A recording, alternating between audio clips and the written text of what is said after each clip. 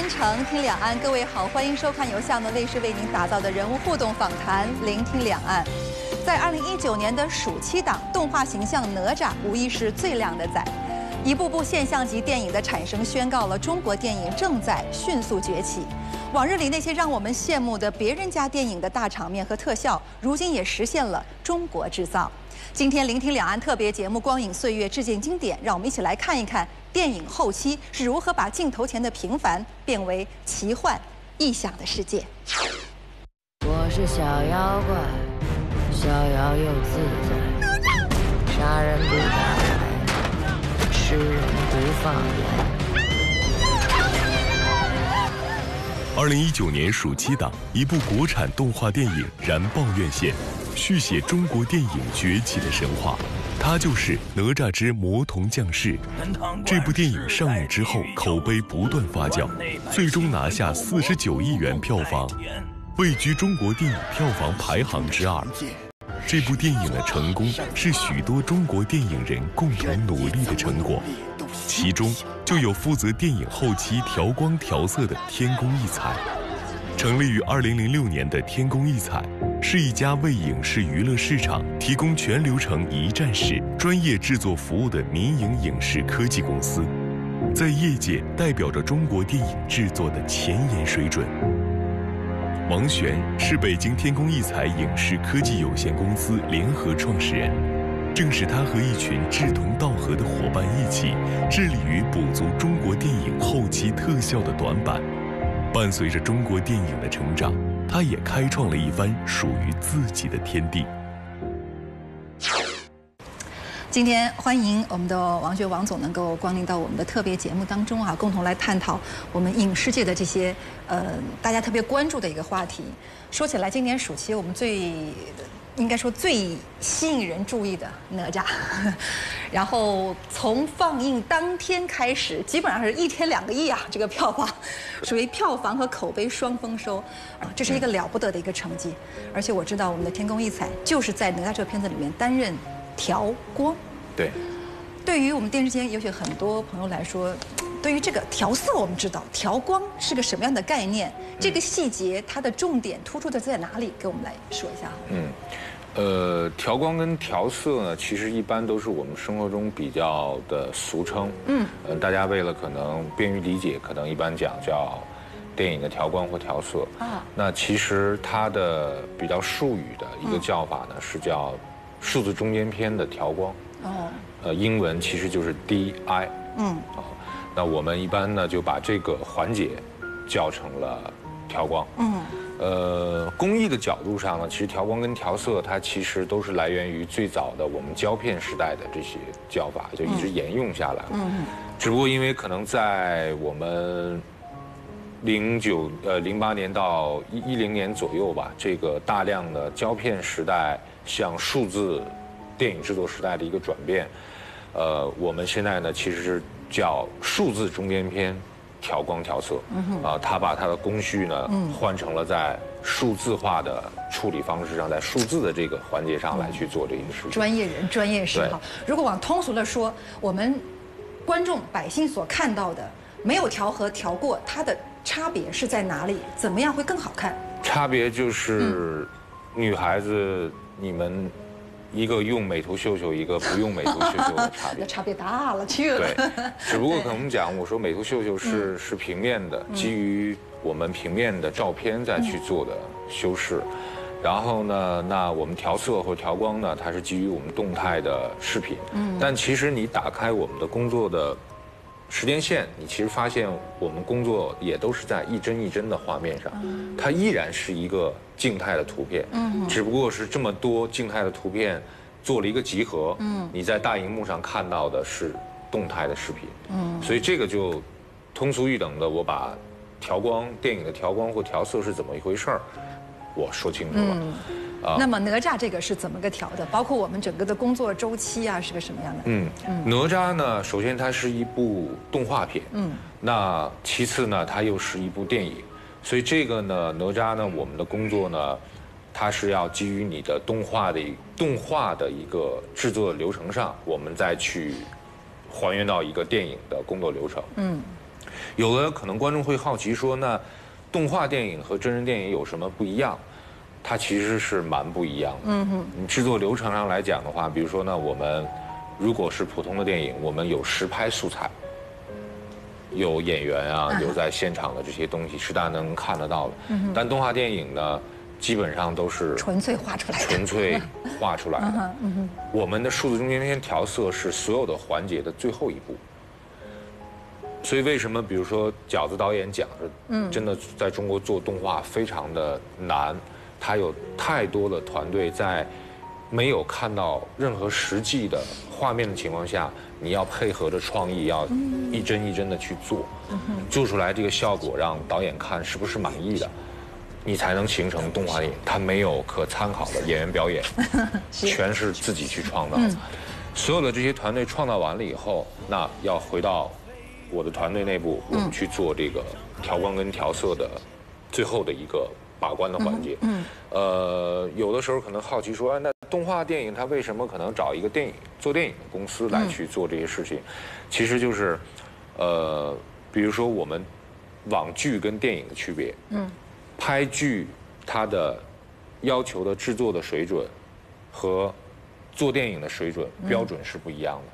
那哪吒它其实是为为了更多的还原电影感的东西，所以到最后选择天工一彩作为合作伙伴来完完成带有电影质感的调光跟对，而且你们是最后一道工序，对，最完美的呈现是在你们这儿的，所以到你们这儿的话，我觉得应该是挑剔感应该是更强的。对，因为在这一步呢，导演是可以看到所有的制作方嗯完成的。对每一场戏的画面，就所有全部成型的呈现，全部成型的东西，包括动画的特效，包括其他的环节。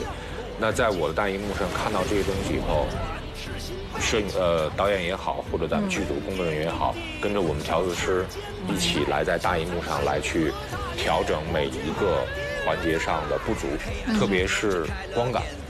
呃，因为我们我们说呢，电影为什么大家会觉得它？会向往，就是因为它带给大家是一个视听的感觉跟享受。你的电影是有质感的，那我们看到的电视的画面跟电影的画面一定是感觉是不同的。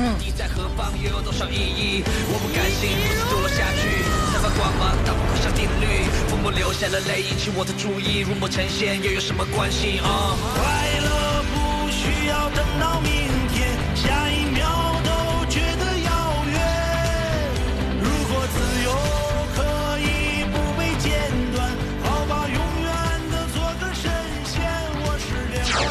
那这个其实就是调光调色这个工序流程带给最后感呃观众们直观感受上的嗯不同。即便现在有的可能电视已经到了 4K，甚至再高一点的可能有 8K 的转播技术，但是你没有经过电影的工序的加工，我们看到哎觉得哎啊，它感觉差点意思。对，他可能是会蛮实况的。嗯啊，但他肯定不是电影，因为你的颜色。肯定没有那种嗯质感。对，而且我们在夸一部电视剧拍拍的好的时候，说他像拍电影一样的拍电视剧，这是对他最高的一个褒奖。对 对，所以这就是动画电影。对，那我们在这块儿的时候呢，在哪吒的过程中呢，基本上我们用了将近十呃半个月左右的时间吧，然后来处理这个调光调色的整个过程。那也是配合着咱们哪吒剧组，然后一起来完成的。这块的工作，嗯，所以到了这一步的时候，基本上呢，就导演跟跟着我们调色师一起在我们的调色棚里面工作，然后每一帧哪吒画面的细节我们去修饰，嗯哼，是不是光感？如果不对了，我们调光；如果是需要加颗粒感，我们要加颗粒感，基本上是这样的一套流程完成下来的。啊，所以这就是电影级别的调光跟调色他在做的做的事情。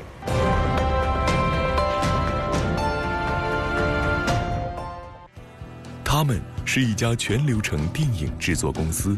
画皮二呢，是我们华语电影历史上，我觉得魔幻题材的开创之作。他们为中国电影奉献了众多佳作。这个时代呢，我们中国本土的从业者、电影从业者或本土公司，逐渐的是在赶超的过程。不停努力，只为中国电影的崛起。中国人，特别是本土的公司，我们我们是有民族感的。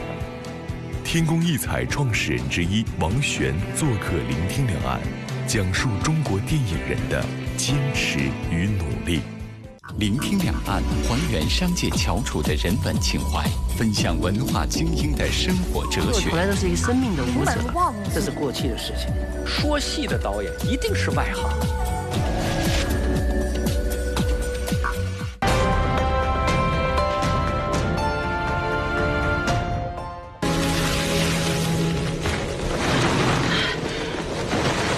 在共同完成《画皮二》的后期制作过程中。四家不同领域的电影制作公司结盟，于二零一三年联合成立了天工艺彩。作为目前国内唯一一家同时囊获金像奖、亚洲电影大奖、北京国际电影节天坛奖的电影后期技术公司，他们展现出的强大制作能力，收获了业界口碑，成为国内电影制作公司的佼佼者。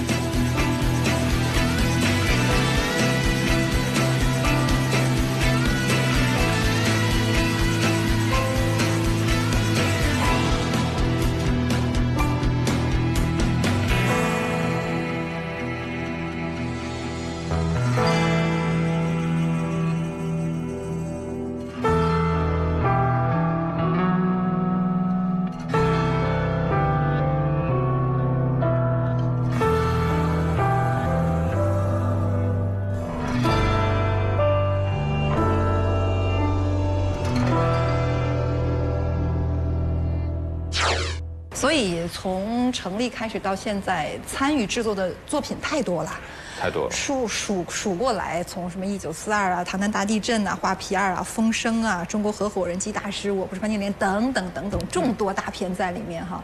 在这样一段发展历程过程当中哈，给我们来解读几段不同的这个概念好了。呃，在天工艺彩的历史上，我觉得可能重点的几个发展阶段或者是几个片子，这里要提一下啊。第一个呢是《画皮二》，《画皮二》啊，这个应该是在二零一一年左右的电影。其实也是因为这部电影呢，当时的其呃其中参与的这四家公司呢整合在一起，所以其实它是有一些过往历史的。为什么这么说呢？《画皮二》呢是我们华语电影历史上我觉得魔幻题材的开创之作。我们能看到，当时在画皮，也就是我们俗称的画皮一的时候，中国终于有了一个魔幻题材的电影，呃，票房效果不错，啊，然后呢，才有了画皮二。到了画皮二呢，基本上就是一个巅峰了，嗯，啊，巅峰了。所以当时在一一年上映的时候呢，我们跟着乌尔善导演，从参与了特效，画皮二的特效。画皮二的剪辑，嗯，画皮二的调光调色，嗯，当时这几家公司都是共同参与到画皮二，各司其职啊，都用上了。所以你看我们，呃，这种类型片的突破呢，国内的当然现在都是天空异彩下面的这个公司了啊，最早的也是第一批接触到这种魔幻大片的概念。呃，中国的这种大片开始呢，最早。业内对它的定义其实是，比如说张艺谋导演的这个，呃，就是我我们，比如像《卧虎藏龙》啊，我举例的，就像《卧虎藏龙》，这才开始有了大片的部分。然后到了可能零七年、零八年左右，唐山大地震、集结号，我相信大家都有印象。然后呢，到了一一年，那就是画片所以这套团队是我们等于是一直在延续做大片的团队。画片做完了以后呢，我们就在一三年这家公司合并成立了这个整合成立了这个天工艺彩啊。第二个呢，这是第一个时间点，第第一个项目。第二个呢，就是我们在这个二零一五年，那又做了当时的这个《寻龙诀》啊，《寻龙诀》呢，我印印象中当时是将近二十亿左右的票房。票房。呃，在二零一五年，而且那个片子口碑特别棒，对，呃，很多就是观影者是说你要看这个片子，你绝对要一定要去电影院看什么？就是看那种不同的体验，给你看那种特效的感觉。对的，对，嗯，在家是没有那个感受的。是的，所以做完了《寻龙诀》呢，当时业内呢对于《寻龙诀》的这个标签或者是定位，它是说我们华语就代表华语电影史上最高工业化水准的一部电电影。这是一个至高的褒奖。对，无论是从票房成绩，从我们的观众口碑，还是从最后的这个整个影片的效果呈现的部分，我觉得是无可挑剔的。呃，所以当时天空异彩，包括天空异彩整个团队呢，是《寻龙诀》这部电影的整包公司，后期整包公司。我们也是在当年呢，率先给业内提出了后期前置这个概念。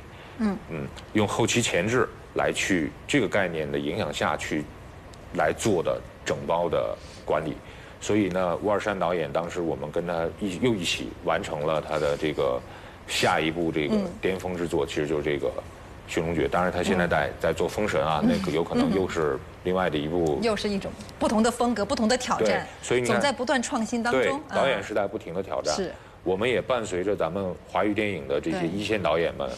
公司也好，我天宫也好，也是在不停的向上去完成这种挑战。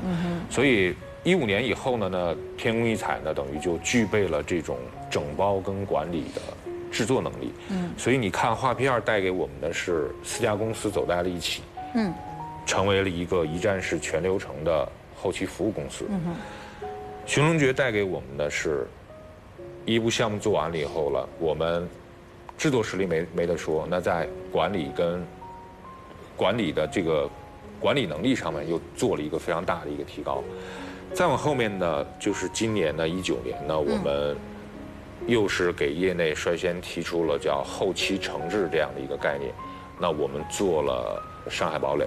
从最初一六年开始到一步步走下来，应该说天工艺彩在这个业内所走过的每一步，也应该是我们这个呃电影产业。非常扎实的每一步，也在看到每一步不断的发展、不断的前行当中。没错，没错。从最初刚开始起步，那时候当时是那样一个状况，到现在，现在每年我们国产电影，应该说引以为傲的骄傲和实力，每年都会出现一大批现象级的这种作品出来。现在你觉得我们国国国内的这样的一个后期制作、后制的一个水平，和国际的先进有怎样的差别？我们的特色在哪里？嗯。呃，我客观上承认我们是有差距的，嗯，因为这个呢，美国的电影行业或者叫电影工业，他们有百年的发展历史。那我们刚才讲了，说国内的电影的发展的历史没有那么长，嗯，我们电影其实经历过几个时代吧。第一个呢，你像这个由这个无声到有声的时代，很早了，一九零几年的事情，比如说。一九零一年的《定军山》啊，那可能是咱们的第一部叫有声的，对吧？然后戏曲电影，又经历一个时代呢，是黑白到彩色的时代。呃，以前可能我们看到我们三十年代很辉煌的上海电影，这个时代就是大家也去也有看电影，去看电影院，但是它就是黑白的片子。然后第三个呢，其实就是这个胶片到数字的时代。前两个时代基本上全都是。外国人在引领的，因为他们最先诞生的这些技术。那到了这第三个时代，我讲就胶片到数字的这个时代呢，呃，我们看到像美国的柯达也也倒闭了吧。然后呢，这个时代呢，我们中国本土的从业者、电影从业者和本土公司，逐渐的是在赶超的过程。因为这个时代离我们很近，对于我们来讲很公平，我们离着。好莱坞没有那么远，啊，因为也许可能一两百年前，可能隔着大洋彼岸，就信息传递有问题。但是现在信息很很方便，这个时代刚刚来临不到十年，中国的电影人是在不停的拼命的在去赶超我们的前辈，赶超我们的领先者，所以有差距，但是这个差距是在逐逐渐的缩短跟缩小。呃，那我再讲讲，那哪块可能会有？差距，我举个例子，可能一方面呢，三大块吧。第一块呢，可能从投资体量上，但凡呢好莱坞电影呢，基本上差不多能归到大片行列的一亿美金起的投资体量。我们一亿人民币的投资，基本上这都已经可以定义为在市场上的大片。